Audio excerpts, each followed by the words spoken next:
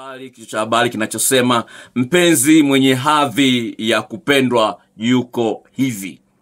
Mpenzi mwenye hadhi ya kupendwa yuko hivi. Sikiliza swali hili kutoka kwa msikilizaji wa Radio Free Africa. Dokta anaitwa Margaret, umri miaka 26. Nilikuwa ndani ya ndoa miaka nane. Tulijaliwa watoto wawili. Nimeamua kuachana naye kwa kuwa amekuwa akinifanyia vituko na kunaambia mimi sio hadhi yake. Nilivumilia uh, nik- nikiamini atabadilika, lakini ilikuwa ndoto, hakubadilika. Niliondoka na kurudi nyumbani kwetu kwa wazazi. Sasa hivi ananiambia nirudi tena kwake, yaani ananibembeleza hadi na shangaa, imekuwaje sasa? Nimekuwa kama dhahabu kwake. SMS nyingi, simu hazikauki. Je, mwanaume wa hivyo dokta anakupenda au anaigiza na kupotezea muda?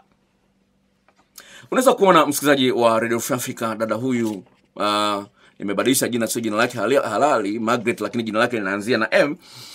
Uh, ukweli wenyewe ni kwamba huyu dada aliingia kwenye uhusiano akiamini kwamba anapendwa sana na wengi, iwe ni mwanaume au ni mwanamke. Unaingia ndani ya ndoa ukiamini unapendwa. Sasa huyu dada anasema kwamba mwanaume alishamtamkia kwamba mimi sio hadhi yako, wewe ni hadhi ya watoto wa mitaani au nani vibaka wa mitaani, wewe mimi sio hadhi yako, niache tembee na wanawake wengine. Sasa hili, hili ni jambo ambalo linakuja kwenye akili za watu wengi ambao hawatumii akili yao vizuri. Mwanamke umemtolea mahari, umempenda, lazima uwe na bidii ya kumpenda. Sasa mtu anapokwambia sio hadhi yake, maana yake ni nini? Na sio hilo peke yake, pale ambapo unaona mtu hakupendi kama mwanzoni, mwanake tayari anakuona hustahili kupendwa kwa bidii ile ile ya mwanzoni. Kwa maneno mengine ni kwamba hadhi yako imeshuka. Sawa, hebu fikiria mwanamke ambaye alikuwa mwembamba amekuwa mnene. Hebu fikiria mwanaume ambaye mwanamke ambaye alikuwa hajazaa sasa hivi amezaa. Kama dada mmoja ameambiwa na mume wake kwamba unanuka maziwa, hebu kaa mbali na mimi usiniguse, lala kaa pembe mbali huko, unaona Eti unanuka maziwa. Ni mwanaume anamwambia mke wake huyo ambaye amemzalisha yeye mwenyewe. Sawa sawa, hizo ni story. Sawa. Sasa mwanaume hana hela, kwa mfano, alikuwa zamani alikuwa na hela, sasa hivi hana hela, anaonekana kwa huyu mwanamke hana hadhi ile ile. Sawa, kwa sababu ameanza uhusiano akiwa na hela, sasa hivi ana hela. No, imagine mwanaume apata ulemavu, ameanguka kwenye bodaboda akapata ulemavu, anaonekana kilema, anasema sio hadhi yake. Sasa unaweza kuona jinsi gani hii inaweza kuleta ugumu unapomwangalia mtu katika hali ambayo ye mwenyewe hajui anavyoangaliwa. Sasa unaambiwa hadhi yako, wewe sio hadhi yangu, lakini hujui hadhi yako imeshuka kiwango gani. Sasa napenda niwaambie wasikilizaji wa Free Africa na wale ambao wanasikiliza kwenye YouTube hivi unavyoingia kwenye mahusiano kimapenzi unachotafuta ni nini? Nijibu. Naomba unisikilize. Naomba nijibu hapo ulipo kabla sija sijaongea kwangu, sawa? Unapoingia kwenye uhusiano wa kimapenzi unachotafuta ni nini? Umelipata jibu? Unatafuta nini? Hivi unachoingia kwenye uhusiano unatafuta nini? Naomba nikwambie. Kama vile mpira watu timu haichezi peke yake inacheza na mwingine. Inayotafuta ni raha. Sawa inachotafuta ni raha. Na raha ya uchezaji wa mpira ni kushinda. Naomba nisikilize.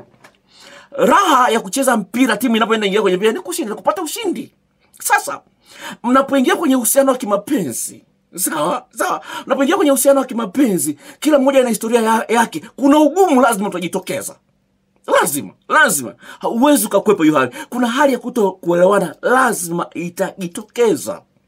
Sasa shida iliyopo kwa wengi ni kwamba hawatafuti ushindi wanaanza kulaumu. Sawa? Kama huyu mtu mnampenda mfanye kazi pamoja mtafute ushindi. Yale magumu yanayojitokeza ile hali ya kutoelewana kati yako na mkeo na mumeo mwishinde ili mweze kupendana kama mwanzoni sasa msipotengeneza mazingira ya kukaa na kuongelea juu ya madhaifu yaliyopo yanayojitokeza kati yenu nyinyi wawili mtajikuta mnatafuta michepuko. Na unaona mchepuko ni mtamu kuliko mkeo. Unaona mchepuko ni mtamu kuliko mumeo. Unaanza kumdharau. Ndio huyu dada anaambiwa kwamba mimi sio hadhi yako.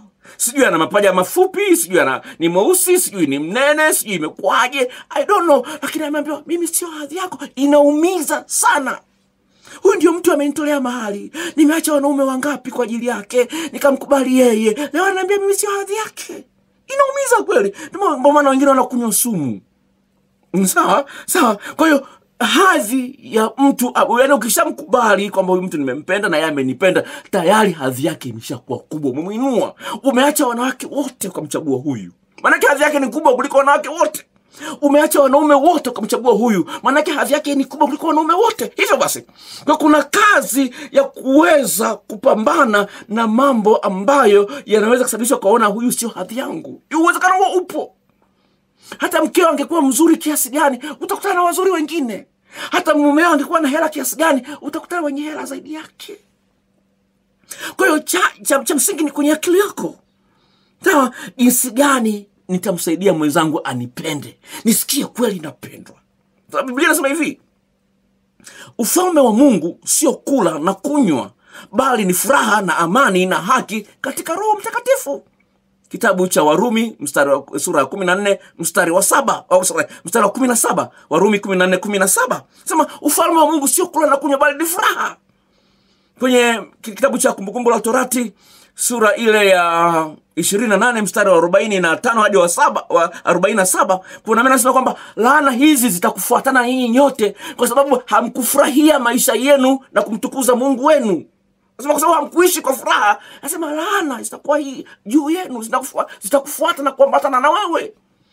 Maisha ya furaha ni kitu cha msingi. Kwenye isaya sura ya tisa mstari wa tatu mungu anasema anaangalia nyuso za watu hawana tabasamu hawana furaha. Mungu anawambia havyamuoni hata nyuso zenu zinavyoonyesha jinsi gani hamna raha maisha yenu hayana raha. Hamuoni hata sura zenu hamjiangalia kwenye vioo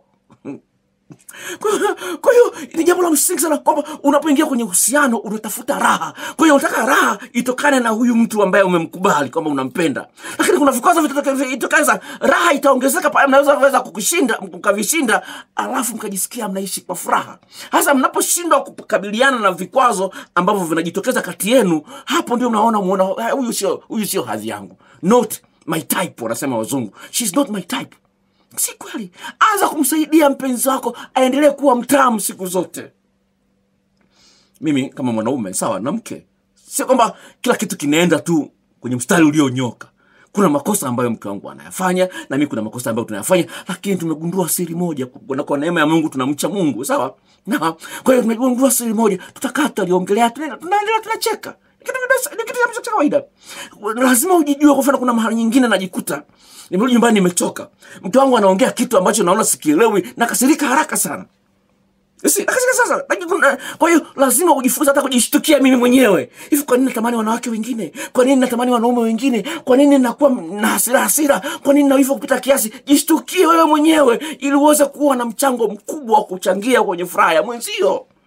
Sio ungojee kila kitu uambiwe. Haiwezekani kuambiwa kila kitu kwa hiyo jiongeze waswahili wamesema. Kwa hiyo uh, mpenzi mwenye hadhi ya kupendwa ni yule ambaye anajali uhusiano na kujitahidi kwa makusudi kuchangia kwenye furaha ya mwenzie na kuepusha vi, vikwazo. Ha, hakuna mkamilifu katika dunia hii. Lazima tusaidiane katika madhaifu tuliyonayo sawa?